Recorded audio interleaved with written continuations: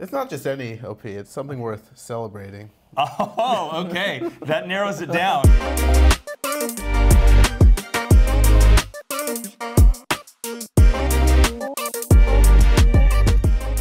Hey everyone, Justin with Bob's Watches, and we're back for another episode of What's in the Box. I'm here with Brandon. Thank you for joining us today. Yeah, happy to be here. I'm excited to see what's in the box. well, welcome back. I'm sure we have something good.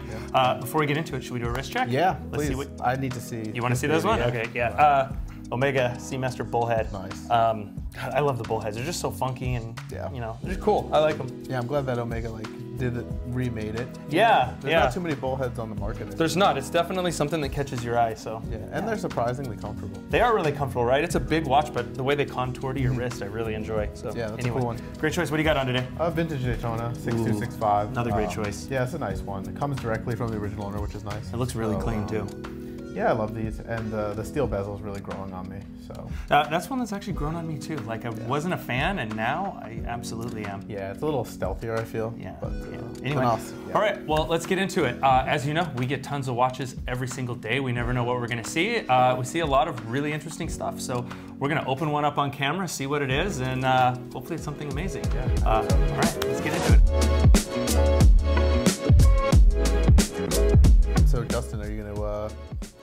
What's You want me in to the take a guess at it? Okay, let, you let take me take a- a, little peek. take a peek. but don't look at my facial expression. Okay. Okay. Yeah. Is it a Rolex? No. yeah. I'm on the right track. Okay, yeah. Okay. Um, wanna give me a hint. Is it a dress watch? Sport watch? I think it's a little mix. A little Honest- mix? It's a mix, honestly. Is it a Milgauss? No. No, but I'll give you two more. Disappointing. I do like a Milgauss. Um, I can give you a hint. It does have a smooth bezel, it does have a smooth bezel. so that's the big. Is it a Datejust? No. Is it stainless? Yeah. Is it an OP? It's an Yeah. OP? Yeah, it is. All right, let's see it. All right. It could be it could be any OP. So let's, uh, yeah. let's let's see All it. right, you guys ready? Yeah. It's not just any OP. It's something worth celebrating. Oh, okay. that narrows it down.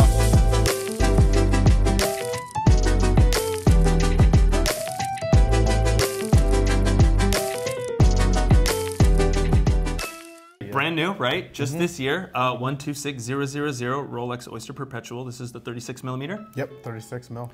Um, and right off the bat, it's that dial, Yeah, right? I I mean, mean, of course, Oyster yeah. Perpetual is such a great watch. Uh, they came out in 2020. They had the kind of not really Stella reissues, but the Stella inspired Right. With all the you know the bright colors, um, which were such a hit, right? The Yeah. Tiffany blue and the red and the green. Yeah, and they're all Um, right here. and they're all represented here. This is this is it. Yeah. So for 2023, they came out with the celebration dial, Mm-hmm. and it's kind of uh, a celebration of all the other OPs in the dials. And so those bubbles, I hear Yeah. it often called, which they're really not They're like bubbles. They're dials. Yeah. Um, whatever you want to call them. All the colored circles on the dial Mm-hmm, um, are representative of the other OPs and the dial colors and the Yeah. sizes, and um, so I think that's really fantastic. I love the idea about it.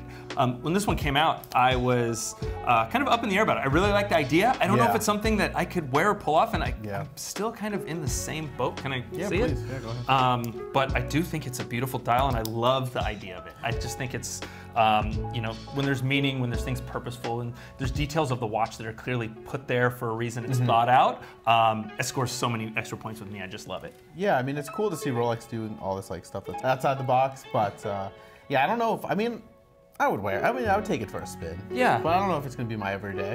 Um, it's fun. I just saw DJ Khaled's son wearing one. 31 Okay. millimeter for a three-year-old, so that's cool. Okay, So well, it's good enough for him. it's good enough for you too, huh? Um, yeah, it's not like my one watch collection, but um, Yeah. you know, it, it is one that I would put on here and there, and you know, for the right occasion, I think it's fantastic. Yeah, anyway, cool. fantastic watch. We see so many interesting things. This is the second one of these we've seen, um, Mm-hmm. and I'm really excited. I, I photographed the first one. Um, turned out great. It's such an eye catcher that I'm really excited to see this one. So, Yeah, it'll be interesting to see what like like what people think of this in like 20 years.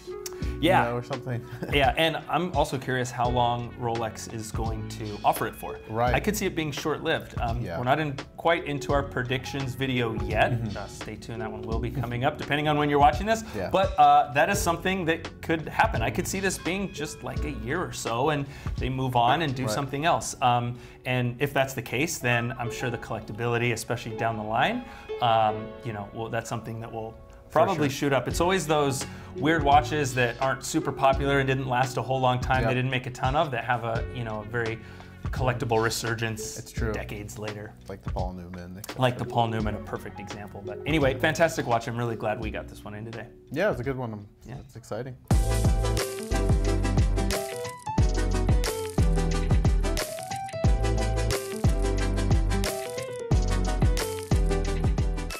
Well, all in all, great watch.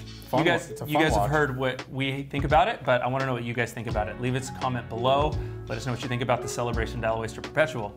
And I also want to know what is your favorite color on the dial? For me, I think it's the yellow. Yellow I like for the, the yellow. original colors. Yeah, I like the yellow. Um, but uh, but yeah, let us know. I think I'm gonna go with the green. I like the green.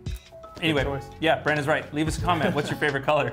Um, anyway, great watch, great show. Thank you for being here, Brandon. Yeah, it's my pleasure. Um, Always fun to get to uh, cut open a box and see Yeah, what's inside. absolutely. And as always, this one will eventually end up on Bob's Watches website. So keep checking new arrivals if you're interested in this watch or any fantastic luxury watch. So until next time, be well.